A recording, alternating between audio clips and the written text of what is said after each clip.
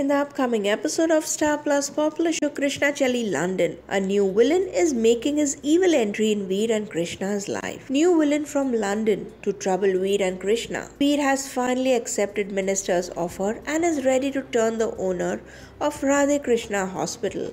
But as soon as he meets the trustee of the hospital Shukla, Veer ends up rejecting the proposal. Dr. Batra of the London College has arrived in India to make Veer's life equal to hell and ruin him.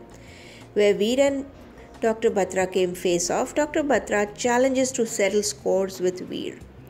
Krishna turns Dr. Batra's first target. Shukla wants Krishna to convince Veer for accepting the hospital offer, while here Dr. Batra makes his first target Krishna to revenge on Veer. So, what do you feel about this?